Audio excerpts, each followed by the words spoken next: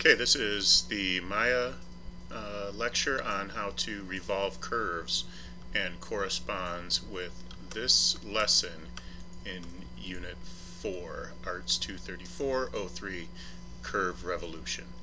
In this lesson we will learn how to create NURBS curve using CV controls, use the grid for visual reference, determine the start and end point for a NURBS curve and its direction, create a revolved NURB surface and uh, using the revolve tool change the display smoothing shadiness for a NURB shading smoothness for a NURB surface. Edit a NURB surface by editing its initial profile curve when it is linked to the surface by construction history. You will need the Arts 234-03 beginning sculpture demo files click on the down arrow and go to download as before and open up that zip file. And let's go to Maya. And we're going to set the project to where you unzipped that zip file. So this is going to be the common uh, method of doing the demos in every unit. Okay so uh, curves are generally used to create NURB surfaces. One of the ways we can do that is with revolve. Um, we're going to go to the modeling menu set if you're not already and we're going to use some of the NURBS commands in there. Uh, you can open uh, curve tools if you want to. It doesn't really matter whether you open this or not. It just has some reference in it. But um, you can just work off a blank scene if you want to. So I'm going to make a profile curve using the um, EP curve tool. You can see in the front view there's some labels here. Um, and I'm going to start with the EP curve tool. I'm going to go to create uh, curves. There they are. EP curve tool. And for now I don't need to really set any options. So um, once I start clicking points, it will start creating those CVs, those control vertices. When I click 2, I get a straight line, as if it were a polygon. When I click the third one, that's when I start getting the curve. So we can do 4 and 5 here. And then press enter when you're done clicking your curves and that completes, clicking your CVs and that completes the curve according to the CVs that you've created. Now CV curve is the same thing in a different flavor. So I'm going to create CV curve. And again, I'm going to go 1, 2, and actually on the third one I get a straight line also. But then once I do the fourth one, what it does is it gives me the average between those points. So do a couple more points and press enter. Um, the EP curve hits the points that you click. The CV curve approximates between them. And I'm actually just going to um, create one more here that's not mentioned in the tutorial. I'm going to go to curve, um, Bezier curve, and this will behave a little bit more like an Illustrator curve in that you can click and drag out the handles and actually use the handles to manipulate the curve in and out.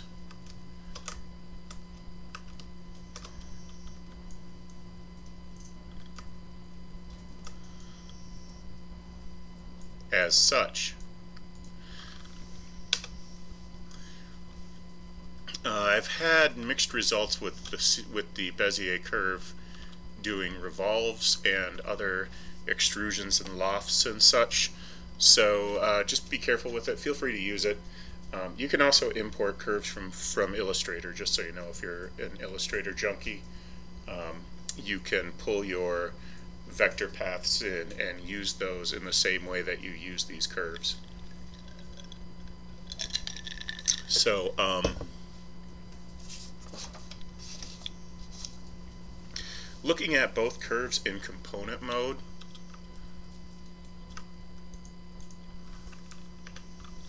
you can see, um, depending on what you have selected, whether you have parm points or curve points or control vertices, you can see different versions of um, visualizing this. Let's go to the status bar and see if I can find this. Yeah, click on right next to component mode, click on this little, I don't know what you want to call it, slider I guess, to open up um, some different selection methods for your component mode. Make sure you're on component mode or you might not see this the same way. So this is parm points, this is points, and is this the one I want? Pivot? No, not pivot.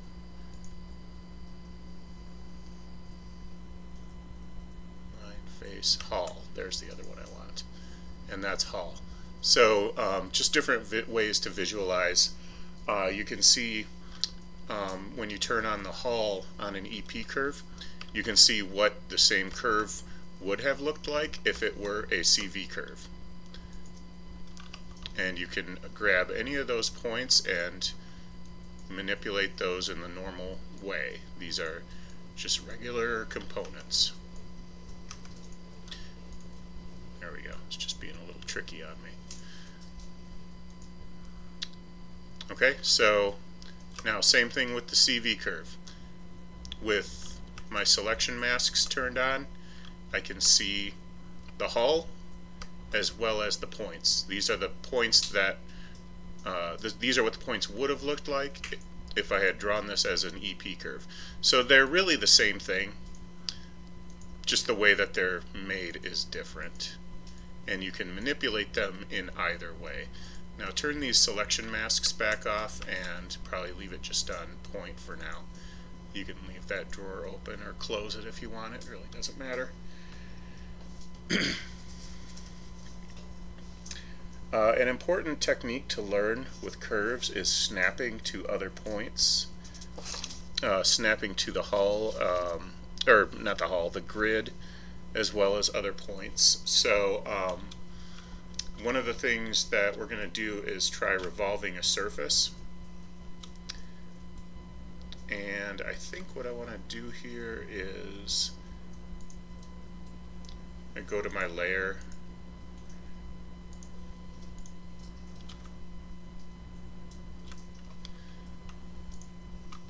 let's turn on object mode and just select everything.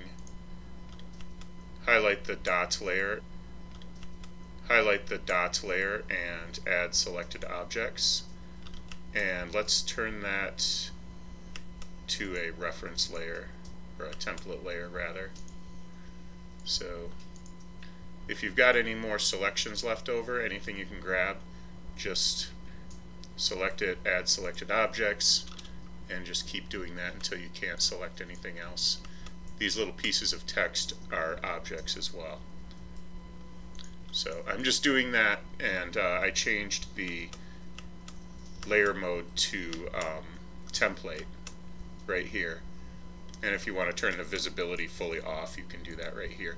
I'm just doing that. I put all those uh, objects in this layer to get them out of the way so I can do a revolution. So I'm going to do the revolution from the front view. I'm going to create a, another curve.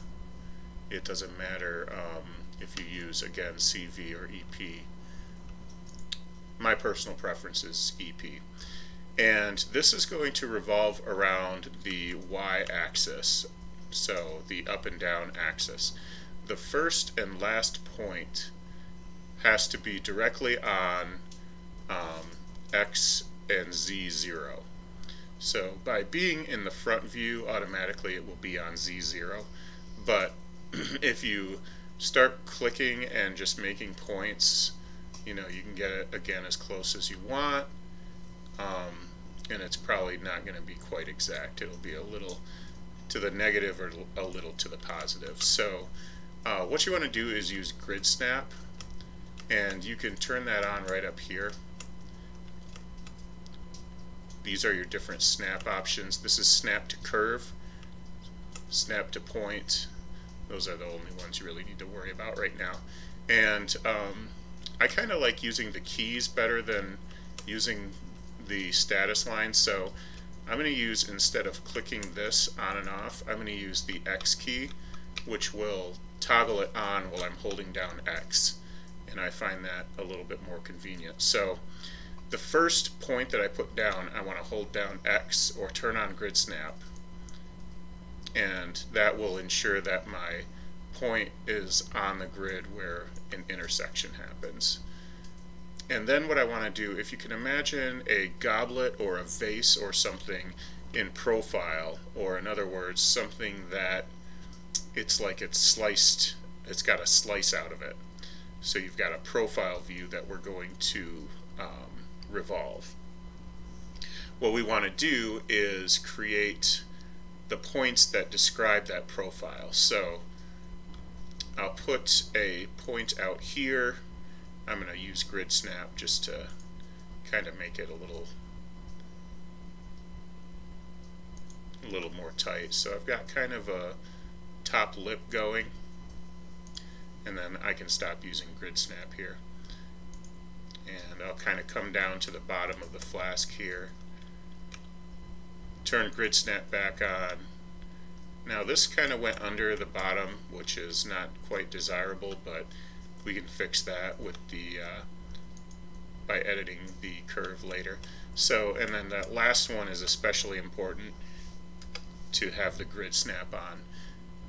So I'll go back to component mode and um, I can add a point by clicking and dragging if I need to add any points. You can um, just create that point and I thought it was enter.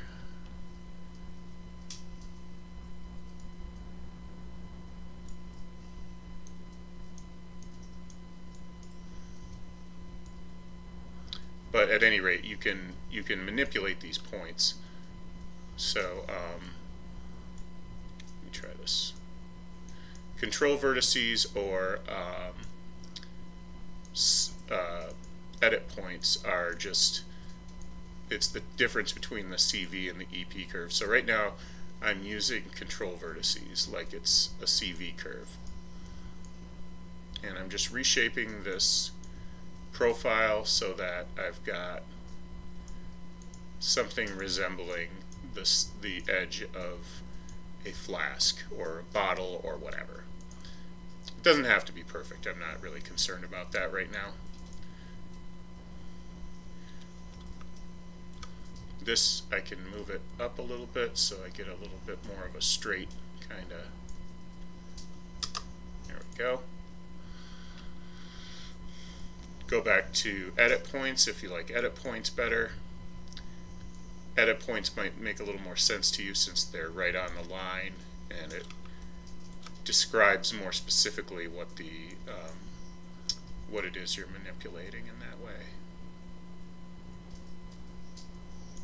So anyway, you get the idea. Uh, let's go back to object mode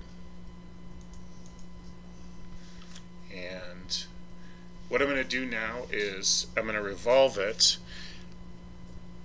Uh, and I want to say before I revolve it, the start and end point where you begin and end with this curve matters. I can never remember if I'm supposed to start at the bottom or the top. So I started at the top and went down. We're going to revolve this and see if we end up with an inverted surface or a correct surface. Uh, if we end up with an inverted surface, we can take the original curve and just um, flip it and and that'll work so if you end up with an inverted surface keep that in mind. So um, but let's go ahead and do a revolve and that is under I got to the animation menu somehow. Let's go back to the modeling menu. And I'm going to go to surfaces revolve and I don't need any options really. I'm just going to click revolve. And that is the correct surface. So This is what that curve looks like when it's revolved. You can see that it has um, it has the hull like like the curve, but it's just been rotated 360 degrees with surfaces put in between. Okay, so um, we can go ahead and delete that for the moment. And the curve is left over. If that's left over, just delete that too. And I'm going to turn off the template on the dots layer. So click it twice, it'll go TR, and then there will be nothing in that box. Um, so I just wanted to show you some snapping before we move on. Just go to create whatever kind of curve you want to do. And on the snap here, I've got the choice of grid, curves, points, uh, and I, surfaces I think should be on here somewhere. Nope, no surfaces. Okay, curves and points, let's go with that for now.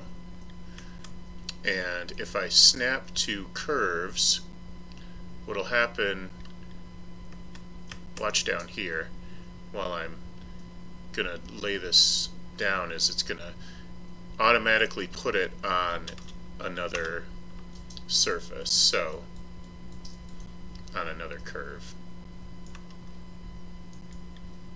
And with that off,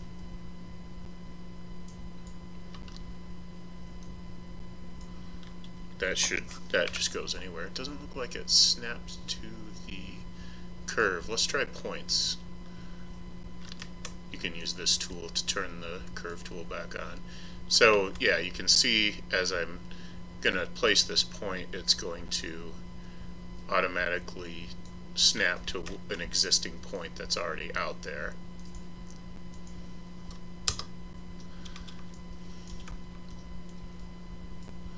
So I guess, okay, so I was thinking these are considered curves, but um, they're not. They're considered surfaces. But you can see how the snap to point works here. Uh, just experiment with this and get a feel for how the snapping works. Let me see if I can find that. There should be a snap to surfaces, I thought.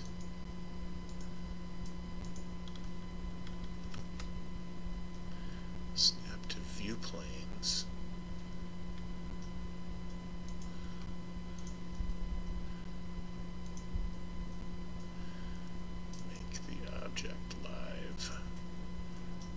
that's what I'm looking for.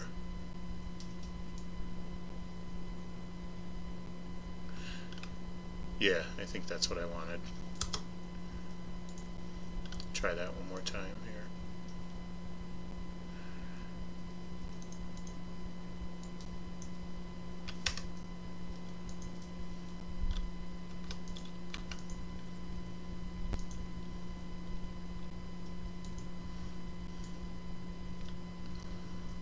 Okay, see down here where the where the point is trying to sit, you can see it moving along the surface of that of that um, that little plane there. So what you want to do to make that happen, it's it's called snap to surface in your tutorial, but that does not exist anymore apparently. What you want to do is select the object that you want to snap to a surface and choose make object live. And I would guess that that does more than just snap to surface, um, but I'm not quite sure what. So we'll come back to that. Um, experiment with that for a bit and start a new scene when you're done. Uh, go ahead and pause this while you play with that for a bit and then start a new scene.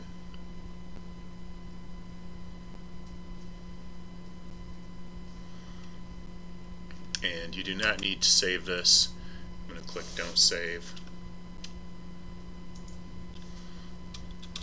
Go to my four panel view here and I'm just going to expand the front view and I'm going to create another curve to revolve. Um, doesn't matter if you use the CV or the EP. I'm going to zoom out a little bit. And I'm going to try to make something a little more like a vase. So, and I will again use the X to um, snap to grid. Now vase should be hollow, um, so that is going to look like let me see if I can find a good example of what that profile curve looks like.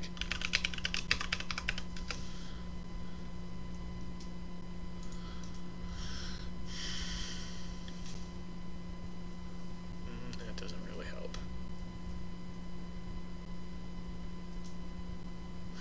So if you just wanted to do the outside, that works fine, uh, which probably is fine for this uh, exercise, but I'm going to have it um, show an inside as well.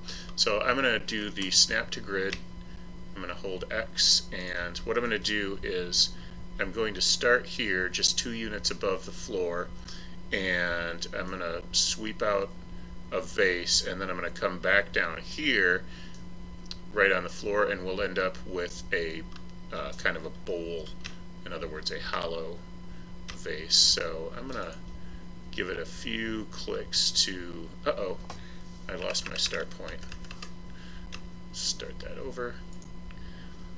And if you want the line to be a little more straight, just give it a few extra clicks on along the grid lines here.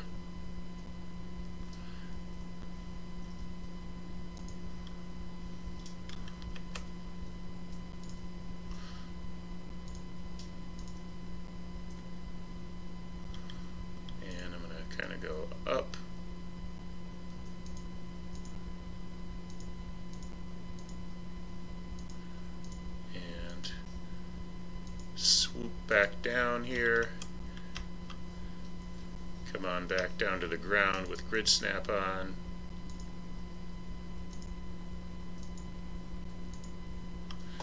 And press enter.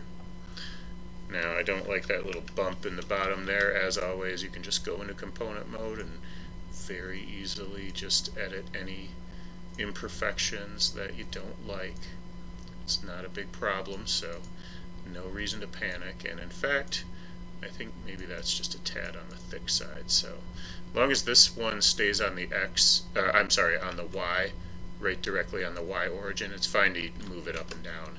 Um, if you get this point or the last point off the origin by a little bit, uh, it's going to either leave a hole or an overlap in your vase, and that is not what you want. So you're going to end up with bad geometry doing that. Um, so just kind of doing a few little tweaks here to even things out a tad. It's probably fine the way it is. Um, and we can go ahead and revolve that. And that is black, which means it's inside out. So um, you can see also it's kind of glitching as you rotate around it. So that means your surface is inside out. Your uh, your blah, blah, blah, your curve needs to be inverted. So I'm going to go to my outliner and I'm going to select the original curve. Let's keep in the habit of renaming too. Let's call that vase. You can leave this curve 1 or just like vase curve 1 if you like. Something to indicate that it's the curve. So if you do end up with this inverted surface like this, select the original curve and go to curves, uh, do, do, do, do, all the way at the bottom, reverse direction. So it's just as simple as that. And now we've got the correct geometry. Now um, I'm going to show you the history here. Window, General Editors, Hypergraph Hierarchy. We'll go with that.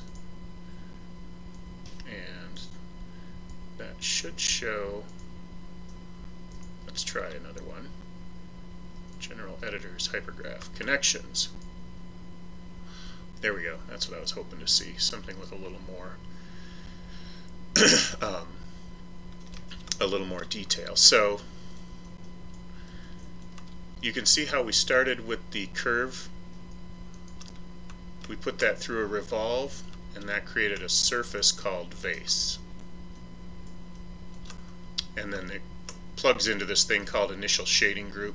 Don't worry about that. That's just a Maya default thing. These three are the ones that I'm interested in right now. These are all connected by history. Uh, that means that they have connections with each other. What one does affects everything down the chain. So, for example, if I select the curve And if I go ahead and go into component mode, I will select edit points. This might be um, a little tricky to understand at first, but if you move these edit points, you do anything to this curve at all, the vase is going to respond by updating automatically. The reason that's happening is because of this right here. These nodes are connected. So the curve feeds into the revolve, and the revolve happens according to where the curve's points are. So this surface can be changed on the fly as long as the history is still connected.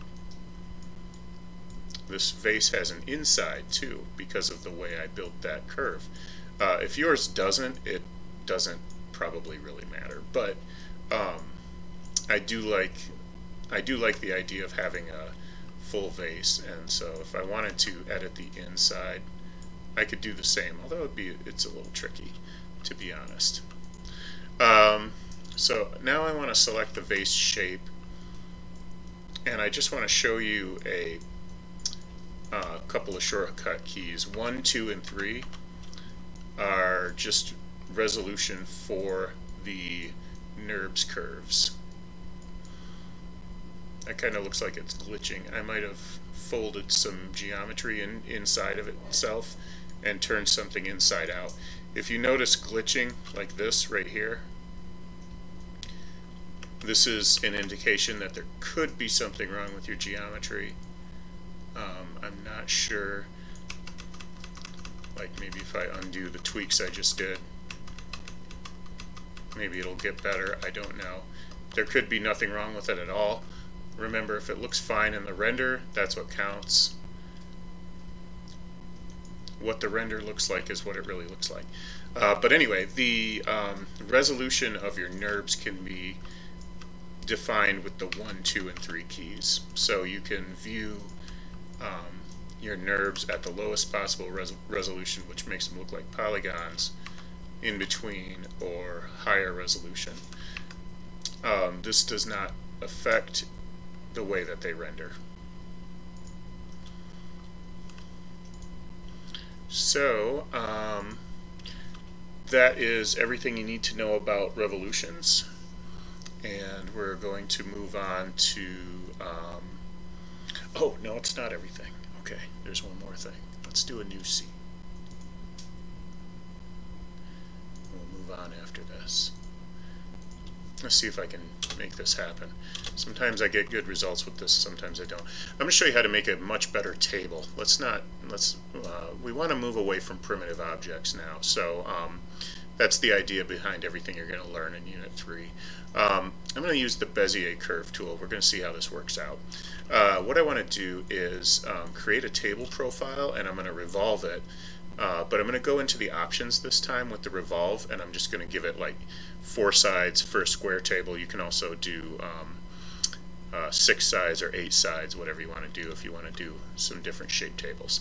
So same rules apply. I'm going to do the grid snap to start and I'm just going to draw a table profile here. Um, and what I want to do is